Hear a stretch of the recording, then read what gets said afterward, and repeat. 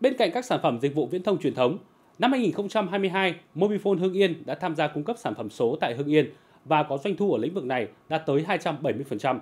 Đây cũng là một trong ba nhà cung cấp dịch vụ chuyển đổi số lớn nhất tại Hưng Yên. Công ty cổ phần dệt may Ý Linh ở xã Nguyên Hòa, huyện Phú Cử có trên 1.000 công nhân với thiết kế toàn nhà 3 tầng.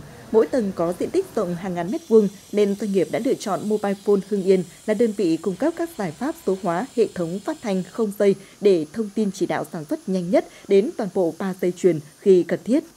Với phần mềm và thiết bị radio số, người vận hành điều khiển hệ thống có thể lập chương trình và cho phát các nội dung theo yêu cầu từ điện thoại thông minh đến cùng lúc ba tổ hoặc đến một tổ như thế này. chương trình đào tạo công nhân viên.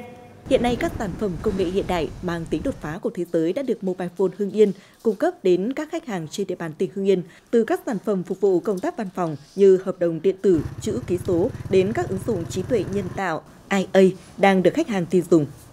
Mobile Phone đã xây dựng và quy hoạch các giải pháp công nghệ thông tin thành các bộ giải pháp chuyển đổi số giúp đồng hành cùng một doanh nghiệp và chính quyền địa phương. Chúng tôi có các nhóm giải pháp về du lịch thông minh, số hóa hệ thống trên cơ sở và camera an ninh. Với sản phẩm camera báo cháy, Mobile Phone Hưng Yên đã có nhiều hợp đồng bởi sự tiện ích từ công nghệ mà thiết bị mang lại. Khác với sản phẩm truyền thống là đầu báo nhiệt và đầu báo khói, thiết bị chỉ báo khi đủ nhiệt và khói xâm nhập vào cảm biến. Sau 6 tháng sử dụng của à, hệ thống báo cháy sớm của bên à, Mobifone thì công ty đánh giá là cái mức độ hiệu quả của cái à, ứng dụng này rất là tốt. Nó giảm thiểu được cái rủi ro tiềm tàng trong công tác phòng cháy chữa cháy. Với hệ thống camera báo cháy, chỉ cần lượng khói nhỏ và một đốm lửa cũng đã được cảnh báo và gọi vào điện thoại của chủ nhân và kích hoạt hệ thống chữa cháy. Năm 2022, vượt qua nhiều khó khăn, Mobile Phone Hưng Yên đã có doanh thu chuyển đổi số đạt trên 90 tỷ đồng, tăng trên 270% so với năm 2021. Đây cũng là hướng đi trong định hướng phát triển kinh doanh dịch vụ số của đơn vị. Mục tiêu của Mobile Phone sẽ là giữ vững tất cả những sản phẩm truyền thống, đó là sản phẩm liên quan viễn thông và tập trung đẩy mạnh với lĩnh vực công nghệ thông tin, đặc biệt lĩnh vực chuyển đổi số.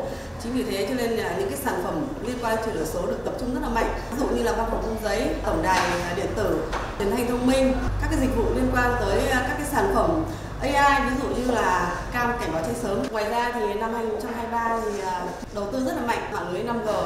Chuyển đổi số đang thay đổi các sản phẩm truyền thống trong đời sống xã hội, vừa là thách thức, đồng thời cũng là vận hội để Mobile Phone Hưng Yên đạt doanh thu cao từ các sản phẩm dịch vụ mới này, góp phần đẩy nhanh tiến trình xây dựng chính phủ điện tử tại Hưng Yên.